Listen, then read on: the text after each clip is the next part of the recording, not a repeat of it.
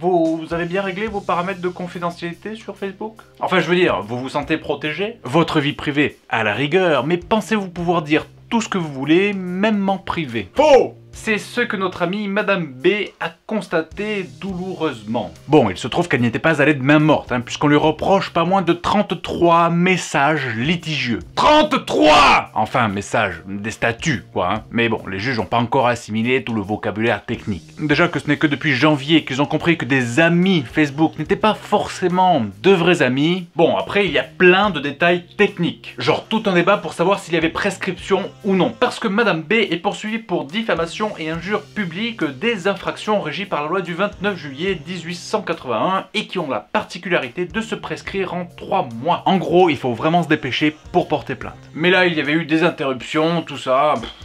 on s'en fout. Madame B a aussi cherché quelques petites causes de nullité. Genre des cases pas remplies correctement sur les formulaires. Mais on s'en fout On veut des faits Est-ce que c'est illégal de stalker? En fait, je dis ça, elle a pas du tout stalké, hein, mais elle a balancé des trucs bien vénères quand même. Genre, elle critique une des filles d'un monsieur qu'on va appeler Sully. Enfin, critique, elle balance quand même que la fille de Sully sort avec un mec qui est 15 ans plus jeune qu'elle. Un gars qu'elle qualifie de cougar au passage.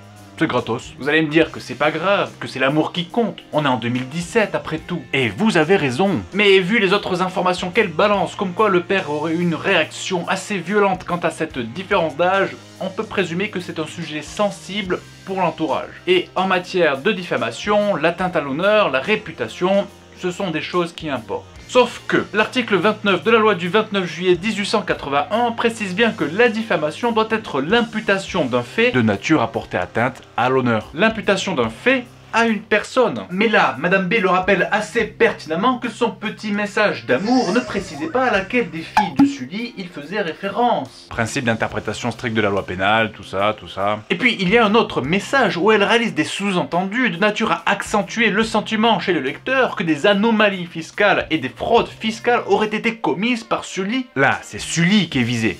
Donc, c'est bon. Et euh, là, en fait, il n'y a pas de fait précis. Elle est forte. Elle est très forte. Bon, qu'en pense la Cour de cassation? Eh bien, maintenant qu'elle est au fait des nouvelles technologies...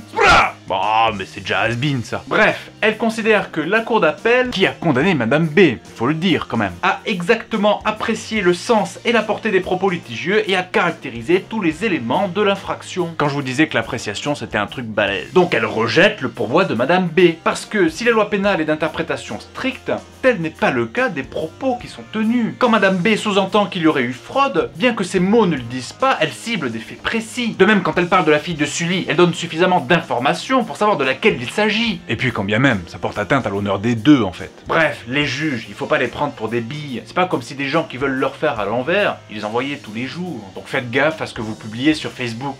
Et puis Twitter aussi. Peut-être même plus Twitter. Hmm. Allez,